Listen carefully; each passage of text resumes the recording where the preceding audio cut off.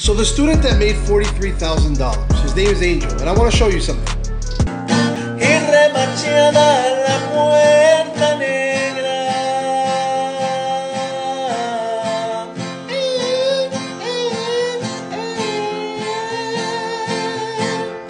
Saw him play the guitar, and you're wondering, what the hell does that have to do with trading? It's passion.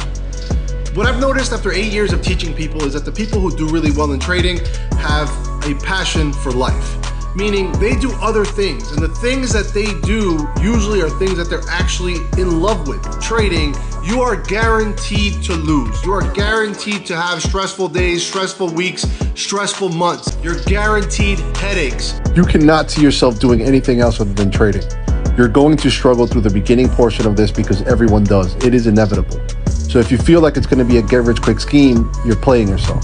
If you feel like this is going to be something that you figure out just because you're halfway smart at something else, you're playing yourself.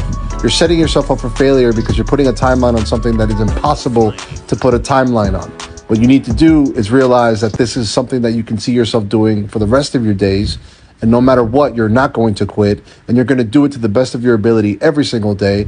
And wherever the chips fall, they fall. DM me and let's talk about how the Zapz Way can be the final place that you go to for real trading education. Happy trading.